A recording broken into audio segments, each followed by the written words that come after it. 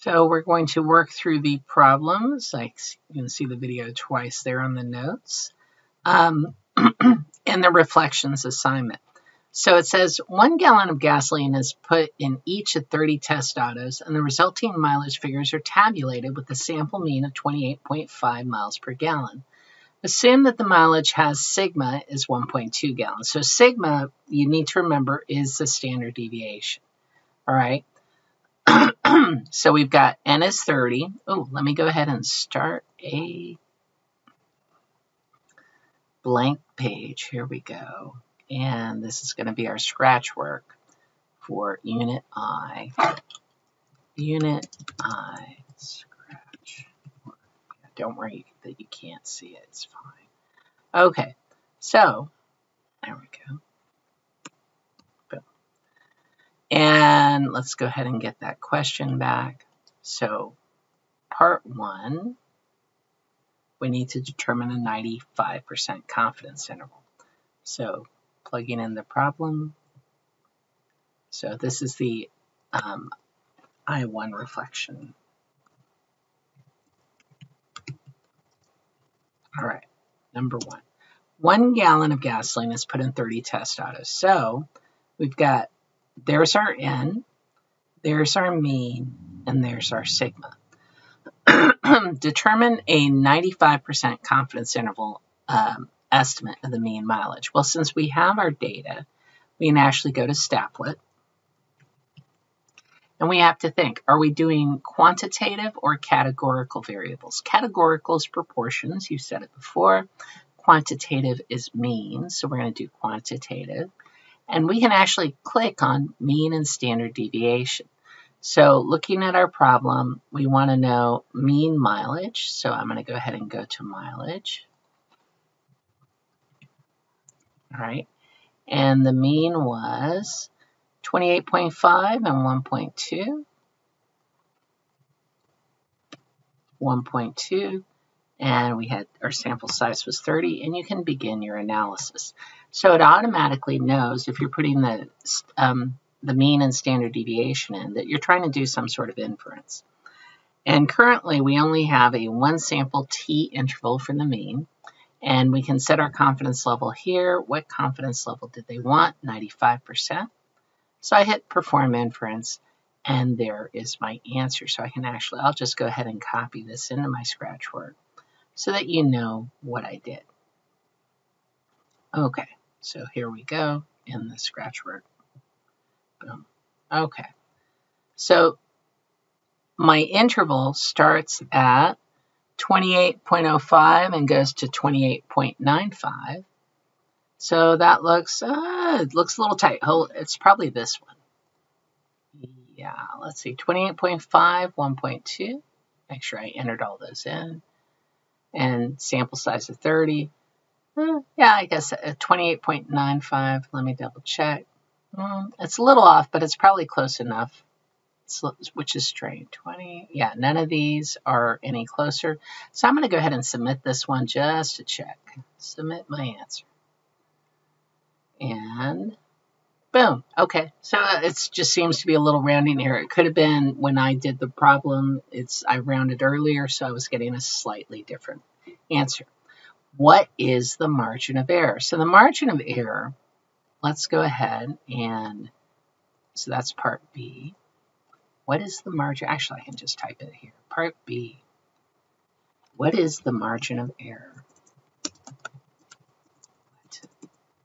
is the margin of error. So it helps to have, um, if I look at my notes, so I'm going to go ahead and pull up the packet.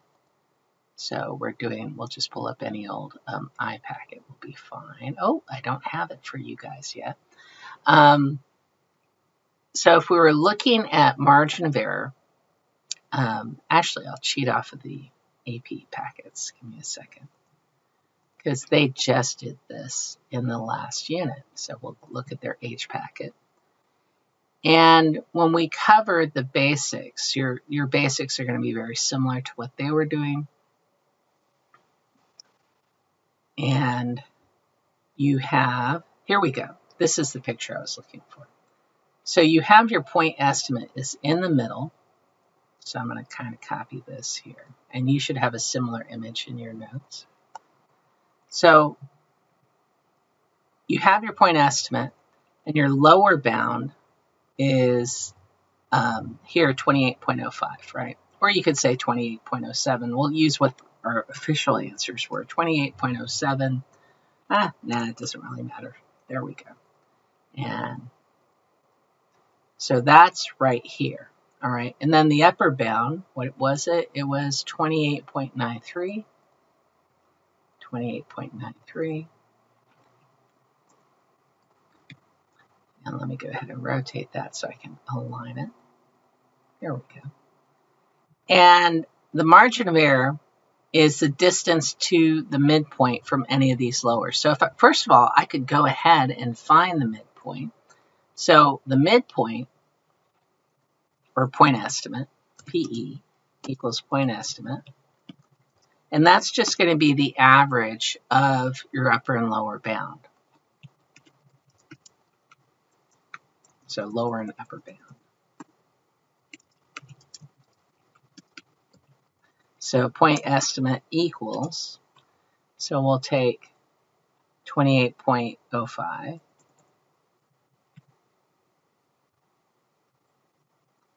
28 point. I'm actually, I realized I was kind of mixing my metaphors, so to speak, because I'm going to use these. So I'm going to assume that my rounding won't be too bad. And so if I put these in Google and say, oh, what do I get when I average 28.05 and 28.95?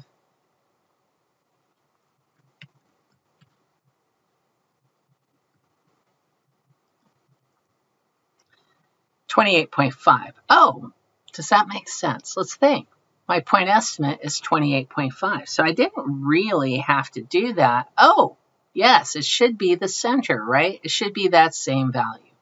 So I'm going to put 28.5 and rotate that. So that's my center point right there.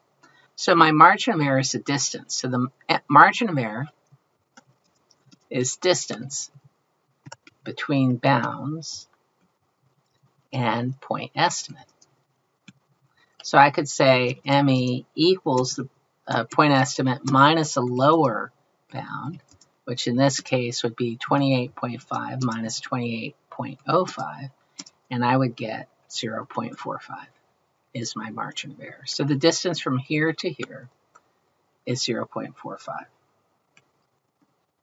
So that's my margin of error, and it should be exactly the same on the other side.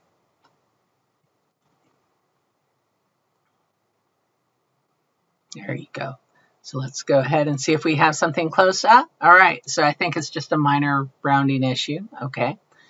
What condition is necessary for our calculation? Um, what we need is that n is large. We need a large enough sample size. So this has to do with the central limit theorem that basically says if you have a big enough sample, the shape is normal. All right. Um, then interpret your results in the context of the problem. Well, there is, we, if we make many intervals using this method, about 95% of them will capture the true average mileage. So this is correct. This is interpreting the confidence level. Whoops, my lights went out on my computer. Give me a sec. There we go. Ignore it, ignore it. There we go. So and what happens if we use a 99% confidence interval? So luckily I can go to the Stapplet and I can just change this. I can say, oh, let me go up. Actually, I want to just type 99. So here's 28.05 to 28.95, pretty much, right? Now I'm getting 27.9 or 8, yeah, pretty much 0.90, right? Well, 27.90 is further down, so it's going to widen it's going to widen. So we're going to say the interval widens with larger confidence.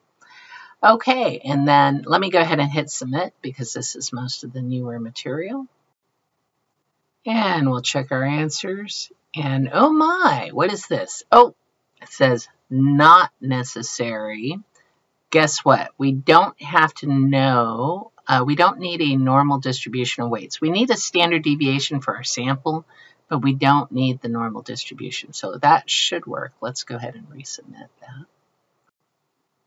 And we can see we have them all right. So now onto the older materials. So for which of the following distributions could we use a normal distribution? So if I copy this right here, and I'm going to come here, and you're probably going, wait a second. So let me paste it in there. I'm actually, ah, Control Z.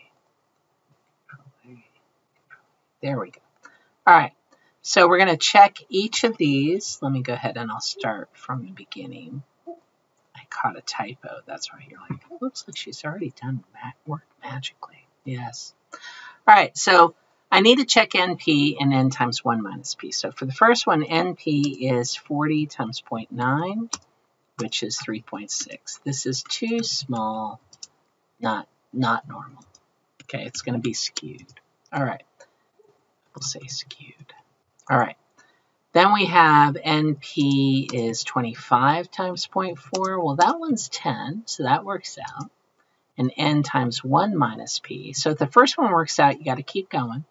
So it's 25 times 0.6, and that should be 15. So this one works. Both are at least 10. All right. Then we'll just, just to be uh, consistent, we're going to keep checking the others. 40 times 0.1 is 4. 2, oh, I did 0.9. This was 36. That's fine. All right, I have to do n times 1 minus p. And that one is 40 times 0.1, which is 0.4, which is just 4. And that's too small. Okay, now we have, we get 4, which is too small.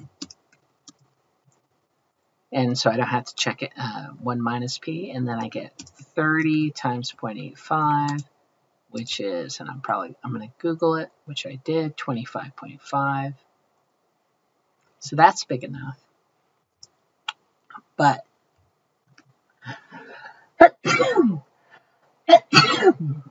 excuse me, n times 1 minus p, which would be 30 times 0.15, is just 4.5, and that is too small. All right, too small doesn't work. So the only one that works is the sample size with 25. All right, so we'll go back and pick that. That one works. Okay, for which of the following would the expected value be 4? So for this problem, what we want to do is expected value is just n times p. All right, so I'll paste it there. So I'll go ahead and do, again, expected value.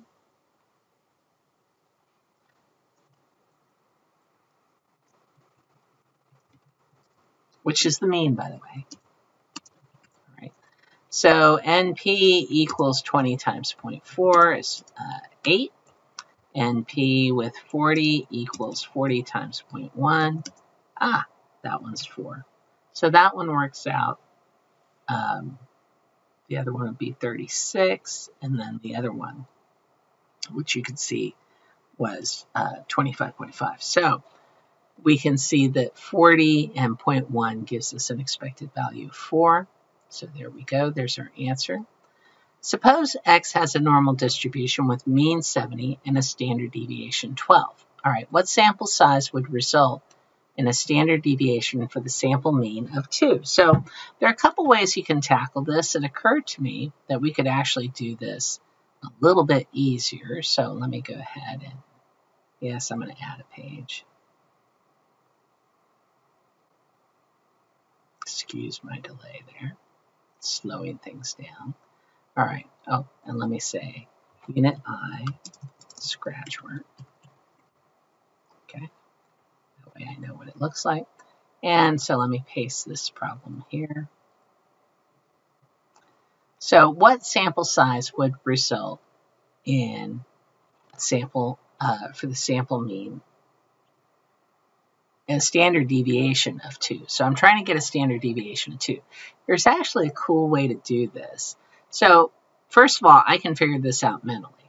Part of it is we need the formula, and I'm going to kind of type it in here. It's going to be a little bit wonky. We got sigma of, um, and then it's going to be that little thing. this is for mean, so it's going to be x bar, equals, and what it is, it's just sigma divided by the square root of n, okay? So what I could do is I could solve this for those of you that are algebraically oriented. I want this to be 2, and sigma is 12, so I'll say, okay, sigma is 12 divided by square root of n. And then I could do a little cross multiplication trick. 2 square roots of n equals, so let me go ahead and start. 2 times square root of n, actually I'll need the f of x here. 2 square roots of n after I cross multiply equals 12. Oh, I don't want that square root, right? And you're like, okay, all right, how's this going? Well, I can divide both sides by 12, and I can say, oh, square root of n is 6. Oh, so that tells you that n must be 36. Now here's another cool way you can do it. Uh, oh, actually, I don't think it'll work. I was thinking Stapplet would do it for you, but here's a problem with the Stapplet. So I was like, oh, we'll just put the one quantitative variable. And I know the mean 75 and standard deviation is 12. And what I could have done was, uh, who knows what problem this is. What I could have done is just plugged in the different sample choices. So I could have said, oh, 36, 18, etc. But I'm not so sure it's going to give me the stuff I want. Yes, it's not going to give me, it'll give me the whole interval, but it's not going to calculate the standard deviation. So honestly, you're probably better off doing the math like I did here. Sorry. Won't kill you. Again, what you could have done is instead of solving for this, you could have said 12 over and tried the different numbers, take the square roots of those, and then by the process of elimination, figured out which one. So if you're like, oh, I can't cross multiply, it's too scary um, then you could do a different technique. All right. But you can. I have faith in you. All right. What is the probability that X bar is within 1.5 of the population mean? So here's our question. I'm going to put it down here. So what we're going to do, we are using a normal model. What's our normal model? Where a mean is going to be uh, 75, but our new standard deviation we said is 2, right? So what I'm going to do is I'm going to set up a Stapplet with that, 75 and 2. So let's, and we need to do normal distribution. Oh, actually, I need to do, uh, oh, that works. I can do that. What does it say? Oh, it's a t distribution. It's a t distribution. It's not a normal. So it's a little more work. I was like, oh, I can just use the normal, but I can't use a normal because these are means, although I could approximate, but still. Um, what we want is a t distribution. So I have to find what's the, the t score. Oh, wait, hold on. This is sampling distribution. I'm not using t. Silly me. I'm using the normal distribution. It's like, how was I going to do this without the normal distribution? I was wondering. We're not doing anything super fancy. So I'm going to put in the mean again. Sorry if I got you thrown off. The mean is 75 and my new standard deviation is 2. So 75 and 2. And plot my distribution. And what's the probability that it is within 1.5? So that means 1.5 below, 1.5 above. 1.5 below 75 is 73.5, and that goes up to 76.5. Calculate the area, and I get 0.5467. So I'll go ahead and just take a snapshot of this. Right there, copy. We'll put it in our work here. Oops, don't need that. So hopefully 0.5467, there we go. We got a match, 0.547. So it should be there. We had a sample size of 36. Hit submit. And we got all the points. There are all the answers. Sorry for the little delay. I started to get ahead of myself into another unit right here. Okay, and that's it. If you have questions, you can share them here or you can share them in class. Have a great night or day or whatever time of day it is.